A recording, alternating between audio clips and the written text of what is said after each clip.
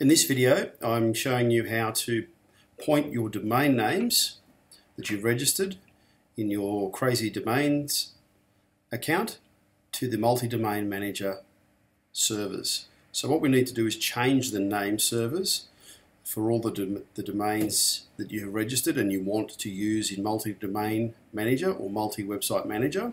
Now to do that, log into your Crazy Domains account. Hopefully you've got your username and password.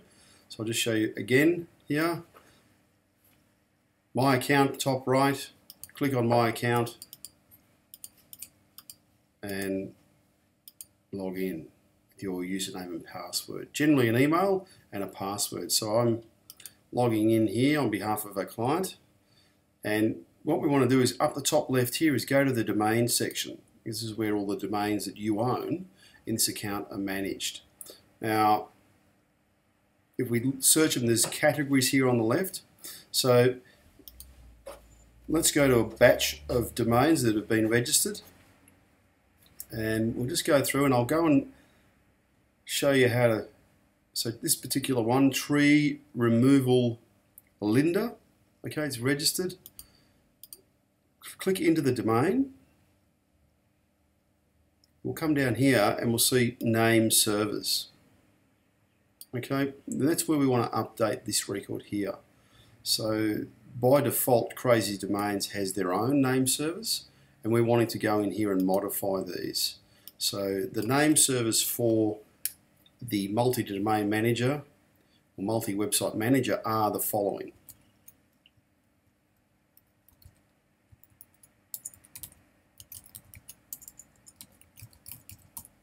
Okay, so it automatically populates the IP address. You don't need to put that in. Add a second one, and these have been given to you in an email from me um, or your multi-domain manager consultant. Now, the thing is we need to add a third one. Now, traditionally, name servers, most of the providers have two. We need three. Okay, so we need to add a third, and what we're looking to do is change it. So the only difference in the name server addresses are the number one, the number two, and the number three. So it's cns1.nameservers.com.au, cns2.nameservers.com.au, and cns3.nameservers.com.au. And all you do is update, and there you have it. You've got the name servers changed. So that's what you want, what you're looking for.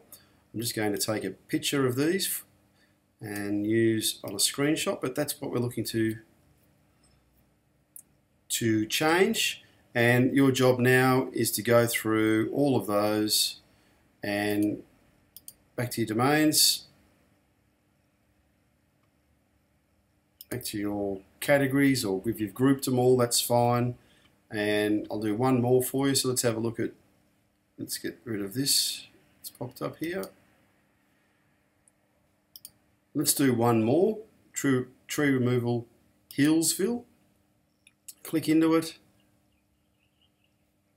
Mo click on the modify to the right and CNS1, CNS2, CNS3. Just make sure you change the 2 and the 3 in there so that we identify three different uh, name server addresses and update button. Right, so you've just got to go through and make sure that you've done that to all of your domains in the system. There you have it, updating DNS details or name server details in Crazy Domains.